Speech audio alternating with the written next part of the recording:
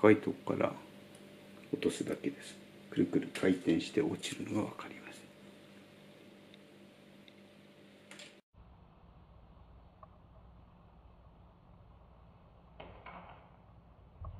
この鼻の後にですねこんなような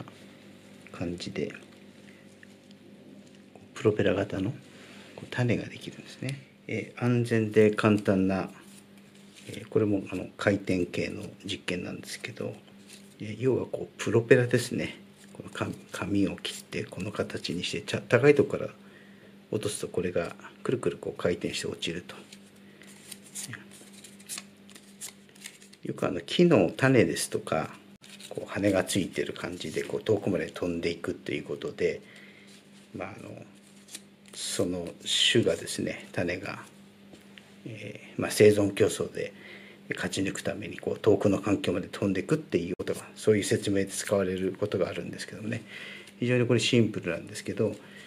えー、面白い教材だと思います。作り方なんですけど、まあ、基本形はあるんですけどそれほど正確でなくても大丈夫です。要はこの羽の部分ですね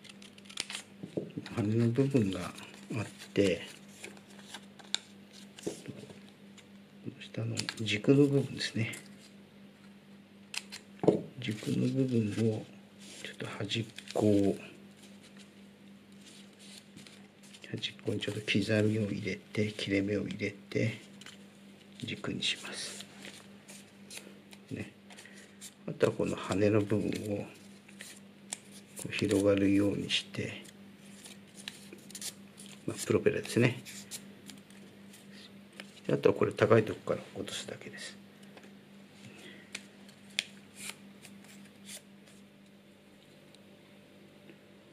あとはこれシンプルに高いとこから落とすだけです。くるくる回転して落ちるのが分かります。長さによってですね若干こうそのパーツのこう長さとかこう曲げ方によって若干落っち方違うんですけど。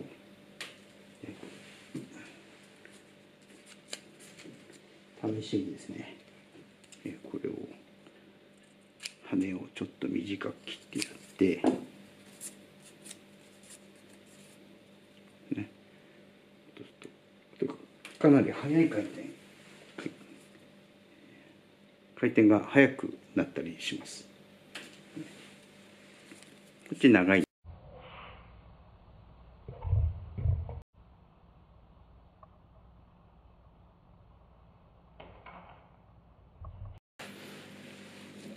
これは花が終わった後の楓なんですけども、この花の後にですねこんなような感じでプロペラ型の種ができるんですね。ね種がもう見えます。もうちょっとしますとこれが落ちてですねこれちょっとこれはちょっと切り取ったんですけど、ね、プロペラみたいな形になってますけど、これが落っこちて、まあ、プロペラみたいにくるくるそんなにはっきり回るわけじゃないんですけども滞空時間が長くなるので